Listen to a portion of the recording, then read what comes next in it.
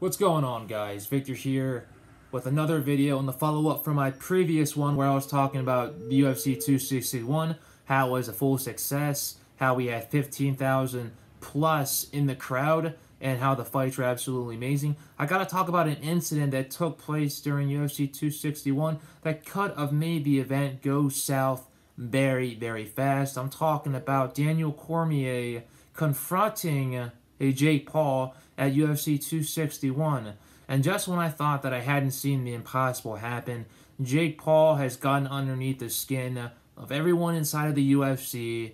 Not not only Dana White, but also one of the key pieces within the franchise of the UFC, a key contributor, one of the hardest workers that the UFC has. He's an analyst, he's a commentator, he's a former double champ. I'm talking about Daniel Cormier, DC. DC. I never thought in my whole entire life that DC would let someone such as Jake Paul get underneath his skin. And as we all know, Daniel Cormier, it doesn't get any more professional than Daniel Cormier. He's a very professional human being. He does everything to the best of his abilities. Until he's with Joe Rogan and he kind of does start screwing up and starts being biased and everything like that. But Daniel Cormier is not always biased. He just tends to follow a lot of Joe Rogan's, basically tends to go with the flow with Joe Rogan whenever Co- Joe Rogan is basically commentating during pay-per-views. So whenever Joe Rogan says he likes someone, Daniel Cormier is most likely going to say it 80% of the times. Not all the time, but mostly 80% of the times.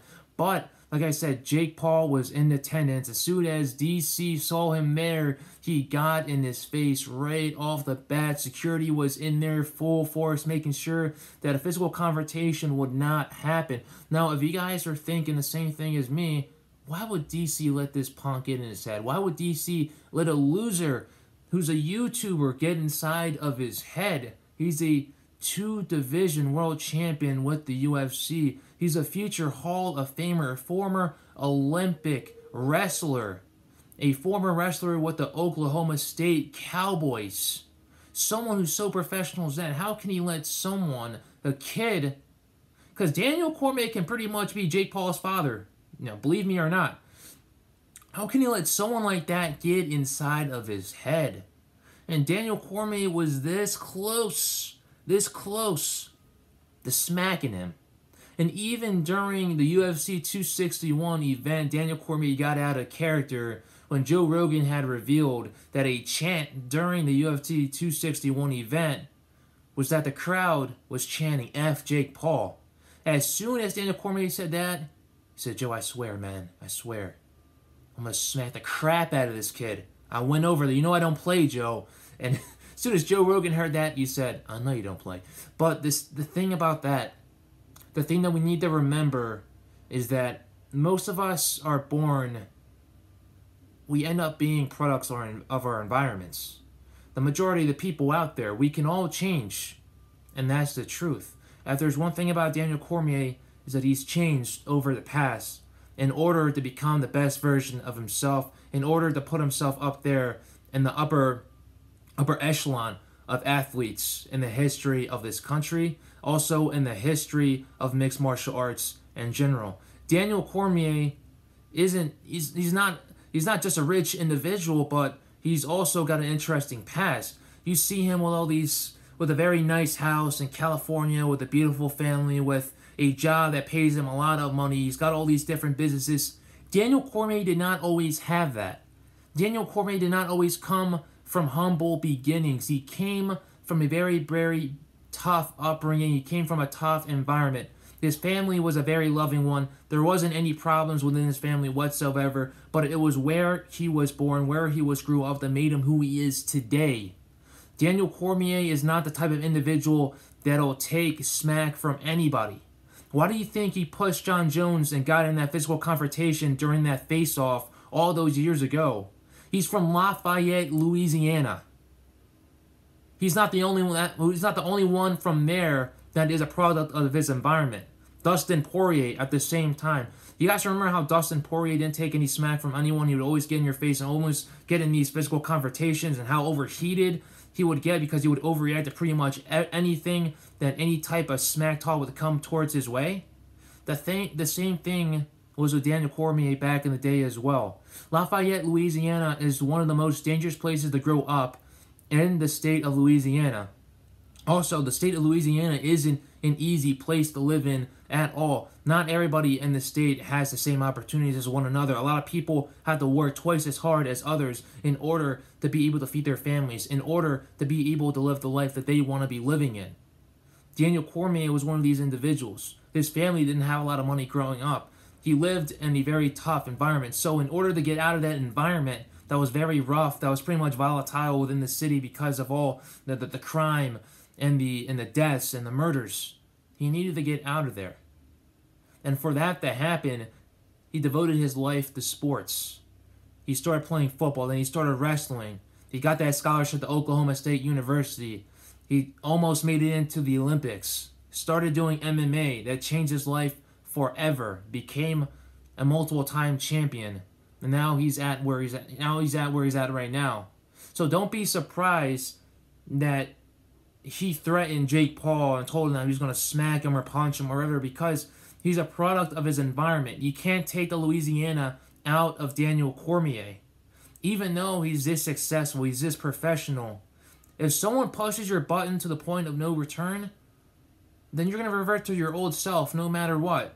No matter how far how far away you've been from that type of environment, how long you've been away from home, from where you grew up. The Louisiana can be taken out of Daniel Cormier at any moment any moment.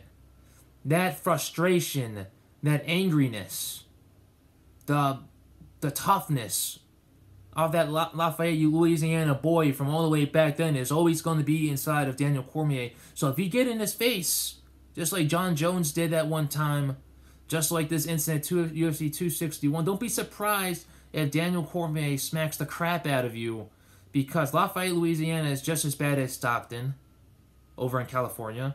It's just as bad as the streets of Miami. So don't be surprised if Daniel Cormier gets into these type of conversation uh, confront, confrontations because he's still a Louisiana boy on the inside. He's from Lafayette, Louisiana. You can't take the toughness out of him. You can't change the fact that he's a product of his environment. Even though that he's changed, he's still got that inside of here. And if someone out there that's as ignorant as Jake Paul basically talks all this smack and starts playing with Daniel Cormier, when Daniel Cormier says he doesn't play around, it's the absolute truth. If, if Daniel Cormier says, if you get in my face, I'm going to do something about it, he's going to do something about it. Like I said, don't let the fact that he's a commentator, he's made all these millions of dollars fool you. Daniel Cormier is still the real deal, and he's no one to be messed with, no matter what. So Jake Paul, I just wanted to let you guys know how someone such as Daniel Cormier got in, in a confrontation with a young guy such as Jake Paul is about I think 22, 23, and Daniel Cormier is about 42 or 40 year 41 years old because of his upbringing, because of the environment that he grew in, uh, grew up into. That's never gonna leave his life. And when someone like that who talks all that smack and gets in your grill and uh, really, really gets you heated up, the the Louisiana inside of inside of DC is definitely it's gonna pop off, and it popped off at UFC 261. So it's not gonna be rare to see DC getting those type of confrontations in the future because that's just who he is. He can't help it sometimes because he got in many of those in Lafayette, Louisiana. Just like Dustin Poirier, if someone t- starts talking crap and starts getting in your uh, in his in, in his ear and stuff like that, then like I said, Dustin, uh, Dust, the, the Louisiana and Dustin is going to pop off as well. You can't, and the same thing with Masvidal. You know, Leon Edwards, who was talking crap, and he basically brought the Miami right out of Jorge Masvidal. You know, the streets and everything. You know, the street fights that Jorge Masvidal used to get into. You Jorge, Jorge Masvidal used to get triggered really easily. But obviously, since he became a, pref- a professional mixed martial artist, had changed a little bit. They had gone away. But because of a couple words that Leon Edwards said, that street fighter, that aggressiveness, that toughness, that angriness came out of Masvidal for a good 20 to 30 minutes. So no matter what happens, you're always going to be a product of your environment no matter where you grow up. and it can be brought back out of you no matter how much you change in the future. And that incident UFC 261 with DC was a perfect example of it. It's not a bad thing, it's a good thing because you never want to forget about where you came from. You don't really want to forget about where you came from, where your roots are from, because that is what always got you to the point in your life right now. So I appreciate you guys for watching this video. Just want to share that information about DC and how someone such as him can be getting how, how he could be reeled in so easily by Jake Paul into that confront, uh, confrontation. Basically, giving Jake Paul more clout, more leeway, and more attention. But it is what it is. I hope you guys enjoyed this video, and I hope you guys dislike Jake Paul as much as I do, because like I said, hopefully he gets knocked out in the future, just like Dana White has said. But we'll see how long this ride is going to last for him, and yeah, it is what it is, just like Max Holloway usually says. But appreciate you guys for watching this video. Stay safe, stay blessed. We're almost out of this pandemic, like I said in the previous video. Later, guys.